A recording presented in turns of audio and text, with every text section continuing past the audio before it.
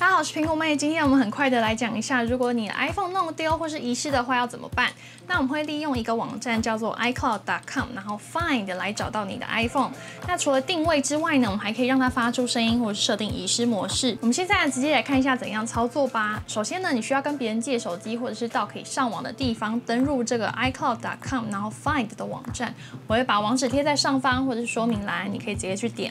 进入之后呢，它会要求你登录你的 iCloud。那注意一下，如果你是使用别人的 iPhone 登录这个网站的话，它会直接跳出下面一个登录的视窗，然后显示的可能是你朋友的账号。那这个时候你就要选择下面的使用其他 Apple ID，因为在这个网站上面你要登录你自己的 iCloud，而不是你朋友的 iCloud 哦。所以在这个画面，我们就选下面的使用其他 Apple ID，然后在 Apple ID 的栏位你就输入你的账号，基本上会是一组电子邮件，然后接着输入你的密码，然后这边呢要注意一下，如果你有开启双重验证的话，它有可能会需要你用你第二台苹果装置来允许它登录，可能会是你的 iPad 或者是 Mac。那今天如果你只有使用 iPhone 的话，可能就不会有这个问题。那就像我刚才讲，如果你今天是有双重验证的话，你就要输入这六位数的验证码。输入完之后，你就会看到你手机的定位了。那在手机定位的地方呢，你会看到它最后定位的时间。然后如果是左边有绿色点点的话，代表它现在还是有在连线。那如果是离线的状态的话呢，可能就情况不妙了。那今天如果是绿色的状况的话呢，你就点进去。那除了可以看到它详细的位置之外，你会看到下面有三个选项，第一个是播放声音，第二个是遗失模式，第三个是清除 iPhone。那播放声音的部分呢，你要先移动到附近的位置，然后再按这个播放声音，你的 iPhone 就会发出声音了。我们来播放一次看看，这样子的声音。然后上来第二个呢，就是遗失模式，就是今天你可以设定说，如果有人捡到它的话呢，上面可以显示哪些讯息。我们点进去，然后按继续，这边你就可以输入你自己的电话号码，这样捡到的人就会知道说要打给谁。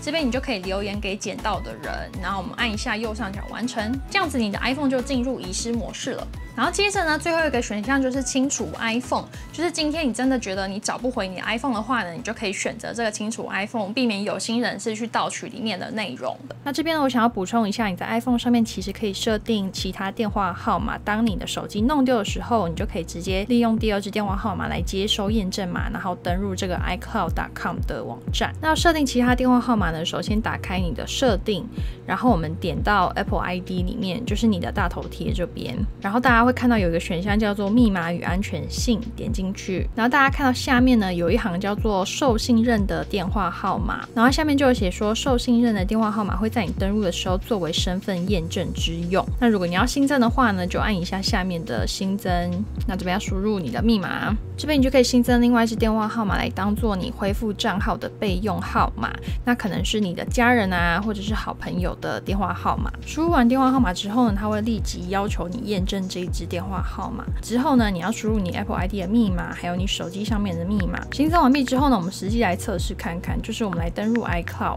那在登录 iCloud 这边呢，你就点下面那个没有收到验证码，接着呢，你选使用电话号码这个选项，它就会出现我们刚才新增的那支电话号码了。在网页版的部分呢，一样是登录 iCloud.com 斜线 Find。然后如果你是用别人的电脑的话呢，一样要选下面这一个，就是用别的账号登录的选项。然后一样在这个画面，如果你有申请双重验证的话呢，你要从你另外一个装置上面取得六位数的验证码才能登录这个网站。进来之后，在最上方你会看到有一个所有装置的按钮，点下去你就可以选择你的 iPhone 或是其他装置。点下去之后呢，在左上角你就看到有三个选项，就跟手机上面的一模一样。那操作方式也是一模一样的。那我们刚才讲的都是最佳状况，就是今天你的手机并没有被关机，或者被有心人士拿去干嘛。如果今天捡到的人立刻把它关机的话呢，你以上做的事情都没有用。所以如果你刚才登录你 Apple ID 看到你的手机是离线的状态，而且是离线非常久的话呢，建议你赶快去报警吧。另外呢，如果你今天想要防患未然的话呢，你也可以事先跟你的亲友啊或者是家人先分享你的手机位置。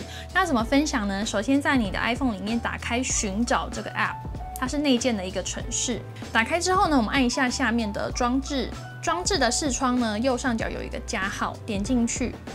然后它就会有一个分享我的位置，这边这边呢，你就可以输入你朋友或家人的 iCloud 账号，它就可以分享你手机的位置了。之后你手机如果真的不慎遗失的话呢，你也可以马上利用你朋友或家人的寻找 App 来看到你现在这台手机在哪里。当然前提是你想要跟对方分享你自己的位置啦。另外呢，大家可以看到在寻找里面呢，你所有装置都列在上面。如果今天你的 iPad 或是你的 Mac 掉了的话呢，你也可以从这边来找。好，那我们今天呢这个很快 iPhone 遗失怎么找回的影片就到这边，希望大家觉得有帮助。另外呢，如果你有任何的 ID 啊，或者你想要学 iPhone 教学的话呢，也欢迎在留言区告诉我哦。我是苹果妹，我们下次再见喽，拜拜。